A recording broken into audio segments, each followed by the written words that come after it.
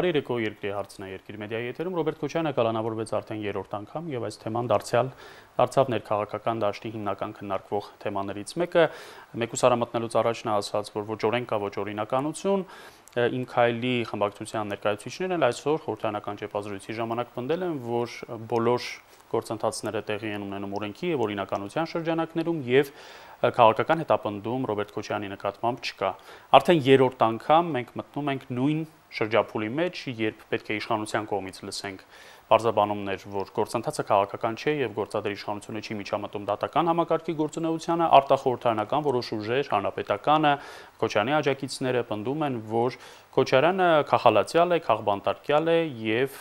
Փաշինյանի կառավարությունը վրեժխնդրություն է լուծում նրանից։ Երկրի արծում այսօր թեմայի շուրջ հյուրընկալել եմ ռեֆորմիստներ կուսակցության նախագահ Վահան Բաբայանին։ Վահան Բաբայանը ծնվել է 1980 թվականին Երևանում։ Ավարտել է Հայկական Պետական Մանկավարժական համալսարանի պատմաշխարհագրական ֆակուլտետը։ Եղել է Հայաստանի երիտասարդական կուսակցության նախագահ, Բարգավաճ Հայաստան կուսակցության քաղխորհրդի կարտուղար։ 2012-17 թվականներին ազգային ժողովի ԲՀԿ խմբակցության անդամ, ռեֆորմիստներ կուսակցության նախագահն է։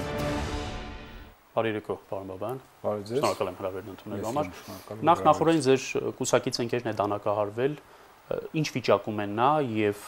որն է պատճառը նրա դանակահարության։ Փառք Աստծո, կյանքին սպառնացող վտանգ չկա եւ այս պահին նա տանն է։ Պատճառները ինչպես իրեն այնպես էլ մեզ հայտնի չեն, որովհետև սա ոչ թե ինչ որ վիճաբանություն կամ կենցաղային որևէ խնդիր է, այլ տվյալ դեպքում անհասկանալի պայմաններում 3 ամիրյան փողոցի վրա ինչ որ անznավորություն է մտածել իրեն եւ հայհոյանքներով ասել, որ մեքենան պետք է ինքը այդտեղից հանի, Դե ամեն դեպքում կենցաղային վեճ է եղել ստացվում։ Վեճ չի եղել, ընդամենը մտածել հայհոյանքներով, ասել է գնա այստեղից։ Ահա։ Ընդամենը այդքանը։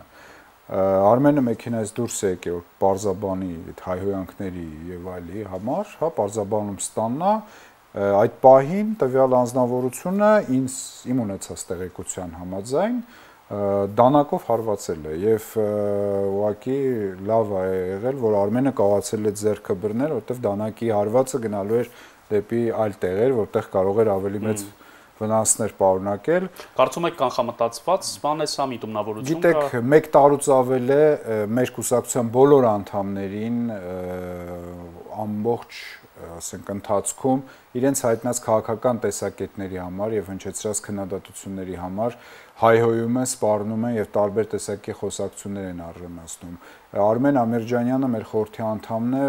իր կինը նաեւ Fornews.am լրատվական կայքի խմբագիրն է Լիլիթ Հովակիմյանը, որը կրկին մեր կուսակցության անդամ է եւ բարբերաբար հանդես է գալիս գործող կառավարության հանդեպ իր քննադատական հայտարարություններով։ Ես իհարկե ես չեմ կարող այսօր պնդել դա, ես չեմ կարող դա կոնկրետ հա հայտարարություններ անել, բայց մենք ուզում ենք parzենք այդ անձնավորության էությունը, այդ անձնավորությունը ով է, ինչ կապեր ունի տարբեր շրջանակների հետ եւ ընդհանրապես ոստիկանությունում այսօր փաստաբանը խոսել է Այս պահի դրությամբ չկա քրեական առուցված գործ,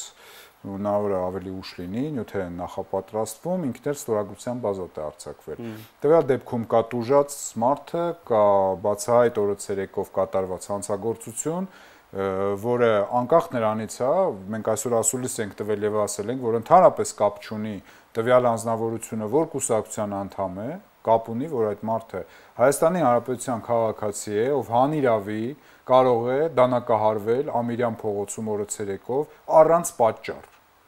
Եվ վստահորեն եմ ձեզ ասում, ճանաչելով Արմենին, անհնար էր, որ նույնիսկ վեճ լիներ, այսինքն որևէ առիթ, որևէ խնդիր չի եղել։ Շատ լավ, առողջություն մաղթենք ձեր կպարզաբանվի, շնորհակալություն։ Եվ եւ մենք էլ կհետևենք, անվերսալ լրատվամիջոցների համար էլ է շատ կարևոր։ Ես գիտեմ, որ դուք նաեւ ոստիկանապետին եք ուղղակիորեն դիմել արագ տեմպերով բացահայտելու։ Մի խոսքով սա կարծես հանրային ուշադրության կենտրոնում է լինելու։ Այո։ Վերջին շրջանում դուք պարոն Բաբայան շատ եք խոսում իշխանության վարկանիշի սրընթաց անկման մասին, գահավիժման մասին։ Ես չեմ կարողանում հասկանալ ինչի մասին է խոսքը, եթե դեկտեմբեր ամսին նրանք 70% արցանագրված բոլոր ուժերի կողմից ճանաչված ստացել են 6 ամիս անց, ինչպես կարող է սրընթաց գահավիժում լինել։ Համաշխարհային պրակտիկան ցույց է տալիս նման հարցերում, որ վարկանիշային ձեռքբերումները եւ անկումները կարող են լինել հաշված ժամերի ընթացքում, ոչ թե ամիսների։ Խնդիրը նրանում է, որ ազգային ժողովի ընտրություններից հետո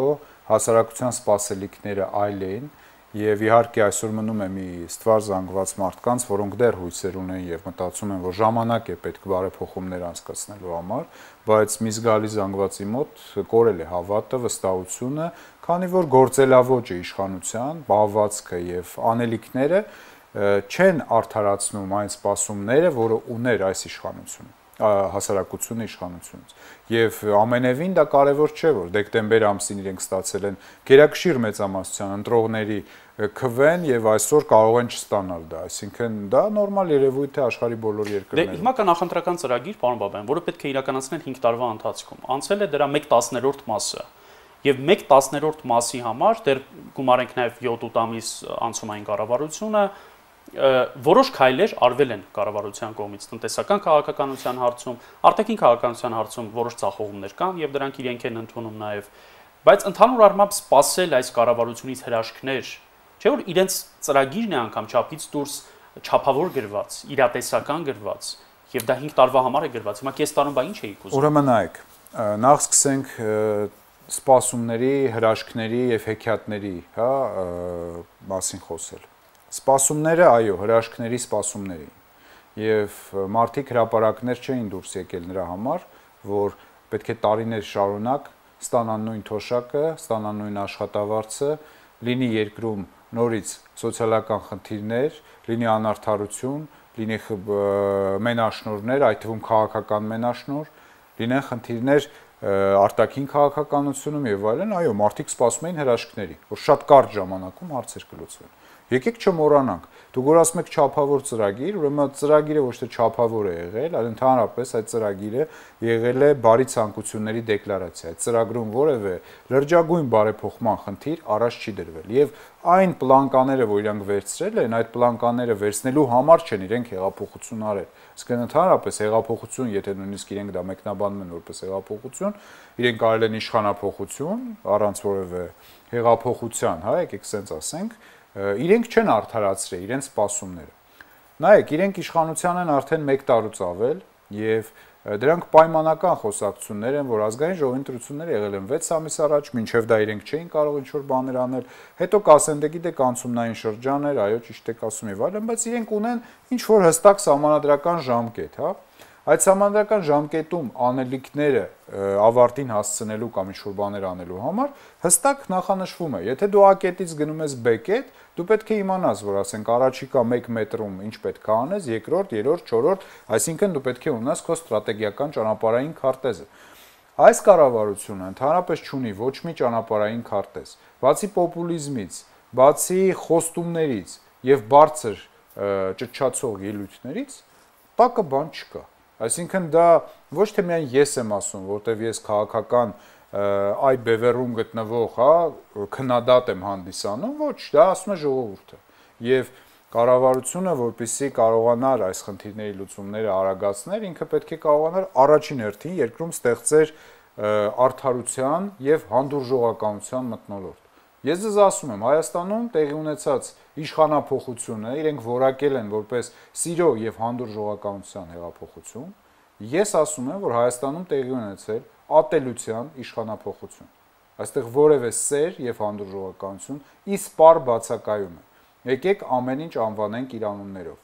Այդ ո՞րն է այդ սերը եւ հանդուրժողականությունը, երբ որ ընդդիմադիր գործիչներին ամբողջ օրը իրենց հայտնած կարծիքների համար վարձու ֆեյքերը իսկ չի կարող դա լինել ուղակի, որովհետև մարդը պարապ չի, որ ամբողջ օրը նույն լրատվական կայքերում նույն մեկնաբանությունները նույն մարդկանց հասցեին գրի, բնական է, որ դա կազմակերպված բնույթ է կրում, իսկ հետեւաբար դա կարող է նաև վարձը վարձու աշխատանք հանդիսանալ, մարդկանց սևացնել, վարկաբեկել, սպառնալ, հայհոյել։ Սա է այդ ֆեյքերը միայն իշխանությանը չեն, քաղաքական բոլոր խոշոր ուժերը խորհրդարանական եւ արտախորհրդարանական ունեն իրենց ֆեյքերը եւ այդ ֆեյքային պատերազմները միայն իշխանության կողմից չէ որ մղվում են պարոն։ Եկեք արդարության համար ասեմ, որ այո, նման բան կա, բայց դա չի նշանակում, որ իշխանությունը ունենալով ռեսուրսներ այդ հարցերը կարգավորելու համար, ինքը կարգավորելու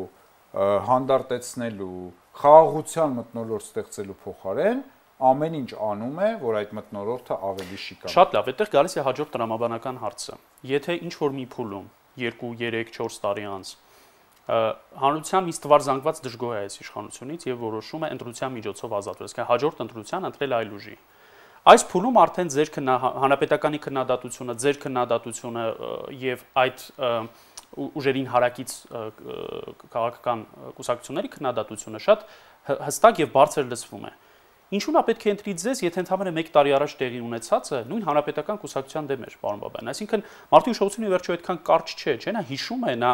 ընտրել է մի իշխանության, որից թեև դժգոհ է, բայց ինքը սպասում է մեկ այլ ուժի, մի երրորդ ուժի, ինքը կընտրի այն ուժին, որը առաջ կգա, եւ որևէ պատահականություն չկա այդտեղ եւ որևէ մեկը չի կարող ժողովրդի փոխարեն ասել, թե ինքը որ ուժին կընտրի։ Է հիմա օրինակ լուսավոր Հայաստանը չի եղել իշխանության, ինքն է ընդդիմություն։ Ամենայն դեպս ես չեմ ուզում գնահատականներ տամ այլ կուսակցություններին, որովհետեւ կարծում եմ այսօր կլինի մի քիչ մեր կողմից ոչ կոռեկտ, իրենք մասնակցել են, ձայն են ստացել եւ վստահություն, դա արդեն հաջորդ ընտրություններին կորոշի ժողովուրդ, իրենք որպես ընդդիմություն աշխատել են խորհրդարանում, թե որպես ընդդիմություն չեն աշխատել։ Ես չեմ այսօր գնահատականներ տա, բայց մեր հասարակությունը այսօր բավականին լավ վերլուծում եւ հասկանում է մեր երկրում ով է ընդդիմությունը, ով ընդդիմություն է, բայց իր գործառույթները չի կարողանում կատարել եւ ով կարող է լինել նաեւ կազմակերպված ընդդիմություն։ Բայց դուք նույն լուսավոր Հայաստանի եւ Ինքայլի այդ փոխադարձ հրաձգությունները տեսնում եք, չէ՞, խորհրդանում եւ խորհրդանից դուրս։ Իհարկե։ Եվ դուք դեռ համարում եք, որ նրանք շինծու ընդդիմություն են։ Ես նման արտահայտություն իրենց հասցեին չեմ անում։ Ես ասում եմ ժողովուրդը կորոշի, թե իրենք ինչ կարգի ընդդիմություն են։ Ընդդիմությունը, ինչպես եւ իշխանությունը, լինում է բազմա սպեկտր եւ բազմապիսի։ Այսօր դուք չեք կարող պնդել, որ իշխանությունը դա միատար համախմբված ինչ որ մի համակարգ է, քանի որ չկա կուսակցական կայացած համակարգ եւ իշխանությանն է եկե մի կուսակցություն, որը նոր է ստեղծվել եւ չունի կուսակցական, հա, այդ հիերարխիան, այսինքն համակարգը չկա։ Հետևաբար չի կարող լինել նաեւ մոնոլիտություն։ Դե արդեն ձևավորել են վերջին համագումարում իրենք բավական հստակ վարչություն ընտրեցին։ Դա բավականին շուտ է եւ բավականին բարդ է այսօր ասել այդ համակարգը ինչպես կգործի։ Իսկ ինչ վերաբերվում է շինծու ընդդիմություններին, կրկնում եմ, ժամանակը դա ցույց կտա։ Հիմա մենք հայտ ենք ներկայացնում լինել ընդդիմադիր, մենք ունենք ասելիք, մենք աշխատում ենք, որպեսի հանրությունը տեղեկանա մեր գաղափարներին, իսկ մեր կուսակցությունը ընտրել է ռեֆորմիզմի գաղափարը դեռևս 2016 թվականին, երբ ես լքել եմ Բարգավաճ Հայաստան կուսակցությունը, մենք մեր համախոներով ստեղծեցինք ռեֆորմիստների կուսակցությունը։ Okay, քաղաքացիական պայմանագիրը բարձում է ձեզնից ավելի հին կուսակցություն է, 15 թվին էլ իրենք 15 իրեն իրենք Բայց քաղաքական գործիչները այդքան հին չեն, չէ՞, իրենք մի քանի կուսակցություններում տարբեր Որևէ մեկը չի կարող տաբու սահմանել քաղաքականության մեջ 1 տարի ես եղել, թե 5 տարի կամ որ կուսակցության անդամ ես եղել, որևէ նոր բան քաղաքականության մեջ տեսնելը բավականին բարդ է։ 1 տարում քաղաքական գործիչներ չեն դառնում։ Տարիներ են պետք, փորձ է պետք, հասկանալի է, կապեր են պետք եւ ռեսուրսներ։ Տեսեք, ես նկատում եմ Փաշինյանին ու քաղաքացիական պայմանագրով չէին ճանաչում։ Փաշինյանը 2007-8 թվականներից հայտնի ֆիգուր էր, երբ դեռ անգամ հայազգային կոնգրես չկար։ Համաձայն եմ, բայց Փաշինյանին ճանաչում էին առաջին հերթին որպես Տեր-Պետրոսյանի կողմնակից։ Այդ շրջանում այո հասկանա անդրադառնալով ձեր հարցի սկզբի այդ մեկնությանը կապված հանրապետական կուսակցության հետ, որ ասում եք մոռացեք, մոռացել են արդյոք հանրապետական կուսակցություն։ Իսկ ինչ եք կարծում Նիկոլ Փաշինյանը, որը եղել է կոնկրետ Տեր-Պետրոսյանի թիմում, եղել է հայազգային կոնգրեսում եւ այնուհետեւ համախմբել է աջորդական շարժումը։ Ինչ է մեր ամբողջ հասարակությունը Տեր-Պետրոսյանի կողմնակիցն է, որ ընտրեց Փաշինյանին։ Հասկանում եք, այսինքն ստեղ ինչ որ համեմատականներ քանի տարի էր անցել համեմատականներ անցկացնել պետք չի ասեմ ձեզ տարիները այն ժամանակ ավելի երկար տարիներ էին պահանջվում շատ հարցերի համար ես հիմա կարող եմ ասել ձեզ որ գործընթացները շատ ավելի արագացել են որովհետև այսօր աշխարհը ավելի այլ ձև է ընկալում քաղաքական տեխնոլոգիաները, հա, հիմա այլ դարաշրջան է, քան 2007 թվականին, որ կարող են 1 տարվա մեջ այսօր Հայաստանի ներքաղաքական կյանքում տեղի ունենան այնպիսի իրադարձություններ, որը անցած տարիներին եղել են 5, 6, 7 տարիներ։ Ես ձեր ծրագրային մի առաջարկի եմ ուզում անդրադառնալ վստահության հանրակրվե անցկացնել իշխանության։ Նախ ես ուզում եմ հասկանալ, եթե այդպես լինի, պարոն Բաբյան, ուրեմն ցանկացած ընտրությունից հետո կամայական ժամանակահատվածում ընդդիմությունը կարող է պահանջել անցկացնել վստահության հանրակրվե, քանի որ քաղաքագիտական ամենապարզ կանոններով པարզ է որ իշխանության վարկանիշը ընկնելու է աստիճանաբար, չի կարող ավելանալ։ Սա մեկ եւ երկրորդ, քանի որ հիմա Քոչյանի թեման է շատ ակտիվ եւ մենք խոսենք նաեւ այդ թեմայով, Հայաստանում եղել է նախադեպ, ընդ որում հենց համանդրական դատարանն է նախադեպը ձևավորել 2004 թվականին վստահության հանրակրվե անցկացնել Ռոբերտ Քոչյանի նախագահի կարգավիճակի հետ կապված, Քոչարեն այդպես էլ չարեց, չգնաց այդ քայլին։ Այսինքն տեսեք, այն ժամանակ անգամ իշխանության մաս կազմող համանդրական դատարանն է այդ պահանջը ներկայացրել։ Քոչյանը չի արել, չի կատարել այդ պահանջը։ Հիմա առավել եւս ընդդիմությունն է ներկայացնում այդ պահանջը, ո՞րն է այդ պահանջի իմաստը։ Շատ լավ հարց եք տալիս եւ սկսենք ամենասկզբից, հա։ Ինչ վերաբերվում է վարկանիշային անկումներին, ուրեմն ընդունում ենք, չէ՞, մենք բոլորս, որ Հայաստանում տեղի ունեցած իրադարձությունները չեն եղել ստանդարտ եւ տեղավորվող բոլոր հա քաղաքագիտական կամ թեկուզ այդ պահին գործող քաղաքական համակարգային լուծումների համատեքստում, այսինքն տեղի ունեցավ ոչ ստանդարտ քաղաքական քայլեր. Իշխանապողություն ժողովրդի հասարակության փողոցի ճնշման տակ, ազգային ժողովի արտահերտ ընտրություն կրկին փողոցի ճնշման տակ եւ տեղի ունեցել խայտարակ անկում, որը վերջերս նույնիսկ երևաց սոցիալական ցանցերում անցկացված հարցումներով, որ երբևիցե նման բան չէր եղել, որ Փաշինյանի վարկանիշը 50-50 դարավ այոյի եւ ոչի։ Այսինքն այդտեղ ընտրանքը շատ կասկածելի է, այդտեղ ֆեյքեր կարող են քվեարկել։ Բայց այդ նույն ֆեյքերը քվեարկում են առաջին հերթին Փաշինյանի օգտին։ Ուրեմն երկու կողմից էլ ֆեյք է քվեարկել։ Մենք չենք կարող դա համարել իհարկե չենք կարող։ Իրական վարկանիշը։ Իհարկե չենք կարող, բայց այդ նույն ֆեյքերը, երբ որ քվեարկում էին, վերցնենք մի քանի ամիս առաջ, տեսարանը լրիվ ուրիշ էր։ Փողոցում, երբ որ մարդկանց հետ զրուցում ես, գյուղերում, քաղաքներում, լրիվ ուրիշ է վիճակը, այսինքն լրիվ ուրիշ է, ինչ որ մի քանի ամիս առաջ, ինչ որ ձեր ասած այդ ֆեյքերի թեկուզ էլի քվեարկության ժամանակ այլ էր պատկերը։ Մենք գտնում ենք, որ այո, տեղի ունեցել շատ արագ խայտարակ անկում։ Այդ անկումը կապված է եւ օբյեկտիվ եւ սուբյեկտիվ պատճառներով։ Հիմա մենք որպես կուսակցություն գտնում ենք, որ այո, ամեն իշխանություն կորցնում է իր վարկանիշը ինչ որ չափով, ինչ որ դինամիկայով։ Բստվյալ դեպքում այն թրիչքաձև աճի խոստումները, Հայաստանը դրախտ դարձնելու խոստումները 6 ամսում պարոն Բաբայան, ավելի 6 ամսում ախր Ես Տեսեք, մենք ելնում ենք ես դա 6 ամիս դեկտեմբերից, չէ, որովհետև մայիսից դեկտեմբեր իշխանությունը տապալումներ ունեցել է, բայց 70% ձայն է արձանագրել։ Ոչ, մենք պետք է ելնենք այն օրվանից, երբ որ Սերժ Սարգսյանը հրաժարվեց նախագահի պաշտոնից եւ մնացած բոլոր տեսակետները, մնացած բոլոր հարցերը, որ շահարկվում են, դրանք մանիպուլյացիաներ են, սպեկուլյացիաներ են եւ անիմաստ խոսակցություններ։ Շատ լավ, բայց իշխանության վարկանիշը 70% է եղել դեկտեմբերի 9-ի դրությամբ, դա հստակ է, չէ՞։ Եղել է 70, մոտ 71% մայիսից դեկտեմբեր ժամանակահատվածում իշխանությունը որոշ տապալումներ, թերացումներ թույլ էր տվել եւ քննադատությունը կար, բայց իրենց ընտրեցին 70%։ Ուրեմն ասենց ասենք, Կարքին Հայկոին 80% զայն տվեց Երևան քաղաքը, երբ որ մենք մասնակցում էինք ավականու ընտրություններին, մարդիկ նույնիսկ չէին պատկերացնում, որ կարող են իրեն չընտրել։ Այսօր հարցրեք քաղաքացիներից, Հայկ Մարությանը 5% զայն ունի Երևան քաղաքում բացառված բան է։ Այսինքն ձեր ասածը 6 ամիս չէ, 1 ամսում էլ արդեն բացառ։ Քաղաքապետը մի քիչ այլ պատմություններ, այդտեղ Փաշինյանին ընտրեցին բոլորը եւ դա իրենք էլ չեն թաքցնում։ Եկեք խորհրդանական ընտրություններից խոսենք։ Խորհրդարանական ընտրություններին էլ են ընտրել Փաշինյանին, ոչ թե ընտրել են այդքին։ Կառավարությունը Հիմա այսօր Փաշինյանի բարկանշի անկումը ուղիղ համեմատական կարգով ազդում է իշխանության թևի վարկանիշային անկմանը, որովհետեւ դա ակնհայտ է այսօր։ Հիմա դուք մի պատկերացրեք, որ այդ վստահության հանրակրվե կոչվածը վաղը չեմիսոր պետք է արվի։ Ես վստահ եմ, որ իշխանությունները նույնիսկ չեն էլ արձագանքել մեր առաջարկին։ Իրենք չեն էլ ցանկանա այդ հարցի շուրջ խոսել։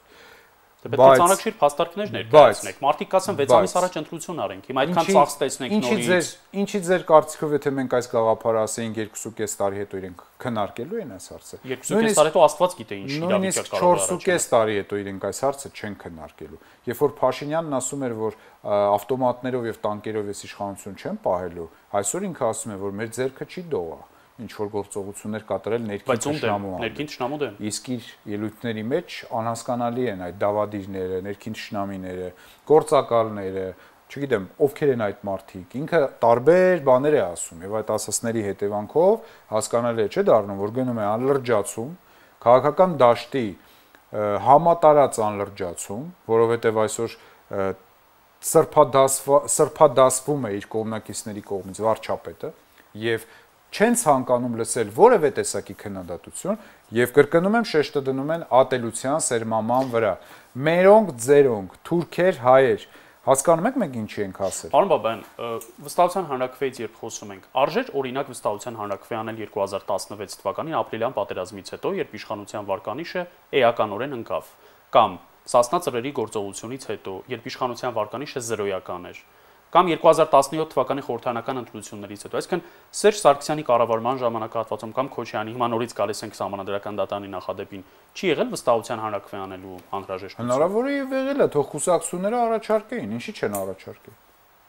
Իրենք ավելի կոշտ միջոցներ են առաջարկել, իրենք ամեն ինչ են առաջարկել, բայց քաղաքական իշխանությունը, որը դարձյալ մոնոպոլիզացված էր, այդ ժամանակ լսում էր ընդդիմության առաջարկները։ Իսկ ինչի պետքա լսեր։ Այսօր լսում է, Չէ, բայ հիմա եթե նույն համեմատության մեջ ենք դնում ուրեմն։ Նախկինում էլ այն իշխանությունը չէ լսում, հիմա էլ նախկինում ինչ որ տեղի ունեցել, դրա պատասխանատուն նախկիններն են, բայց նախկինների ժամանակ ես էլ եմ եղել ընդդիմություն, եղել եմ Բարգավաճ Հայաստան կուսակցության ֆրակցիայի անդամ, ես էլ եմ քննադատել նույն ձև վարչապետներին, նույն ձև կառավարության ծրագրերին, ելույթներ եմ ունեցել խորհրդարանում, բայց ես կարող եմ ձեզ պաշտոնապես ասել այսօր, նախկին իշխանությունների օրոք մեզ նման ատելությամբ լցված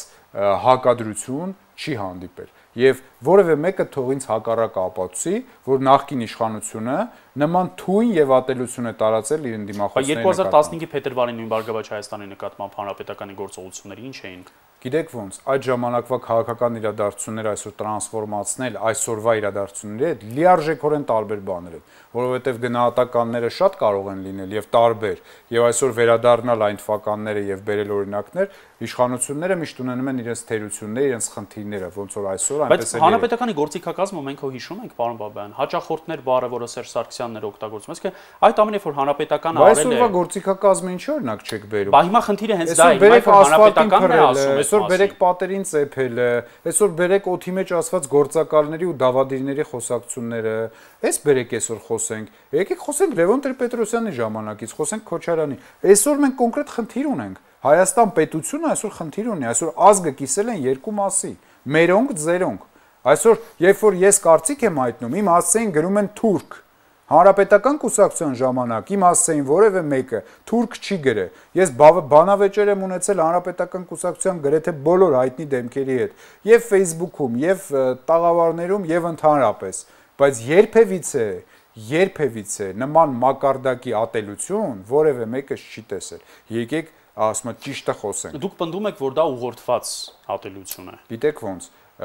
Փաշինյանը կարող է ամեն հարցի շուրջ լայվ մտնել, հա, եւ այդ լայվով փորձել parzabanumներ տալ, ժողովրդին կոչեր անել։ Բա 1 տարի է, մենք տարբեր այլ կուսակցություններ ասում ենք, պարոն Փաշինյան, երկրումը տատելության մտնոլորտ է սերբանվում։ Քո կողմնակիցներն են դա անում։ Եթե նույնիսկ դու չես դա անում, քո կողմնակիցներն են դա անում դու չես կարող որպես վարչապետ, որին լսում են այդ մարդիկ եւ իրենց առաջնորդ, հայտարարությամբ հանդես գաս ու հայտարարես, որ իմ անունից